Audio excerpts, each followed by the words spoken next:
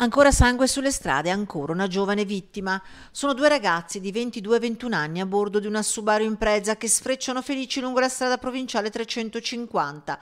Sono le 2.40 di notte. I due, secondo una prima ricostruzione, starebbero scendendo da Arsiero per raggiungere Piovene Rocchette, quando improvvisamente, in comune di Cogollo del Cengio, Alessio Costa, alla guida, perde il controllo dell'auto. È un attimo e la Subaru esce di strada. Chissà se Alessio ha tentato qualche manovra correttiva. L'auto carambola e finisce a ruote all'aria. Per terra nessun segno di frenata o altro.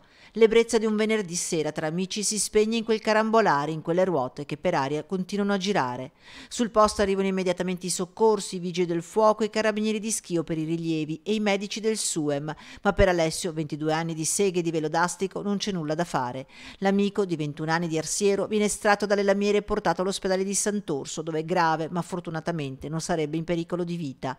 Una tragedia che si consuma nemmeno un chilometro da casa di Alessio, terzogenito di quattro figli di papà Adriano e mamma Concita.